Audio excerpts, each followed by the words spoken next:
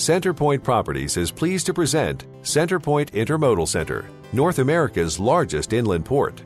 Strategically located 40 miles outside of Chicago, Centerpoint Intermodal Center is at the crossroads of Interstates 55 and 80 in Joliet and Elwood, Illinois.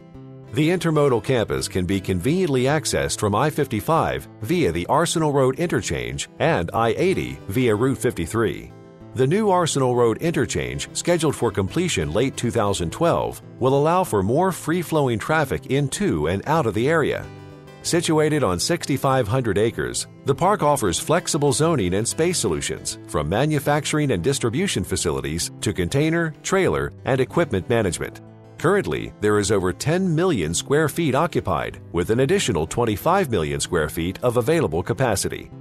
Centerpoint Intermodal Center is anchored by the 770 acre BNSF Logistics Park, Chicago, and the recently opened 785 acre Union Pacific Joliet Intermodal Terminal, also referred to as Global 4.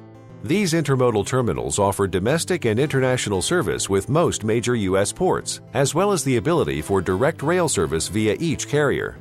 With pressures on trucking, rising fuel costs, and the deteriorating highway infrastructure, intermodal transportation is on the rise.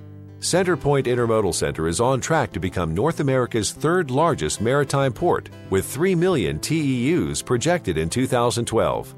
The park caters to intermodal users, including third party logistics providers, rail users, distribution and manufacturing operations, corporations increasing their intermodal shipping, corporations with a high transportation spend, yard operations, as well as grain exporters.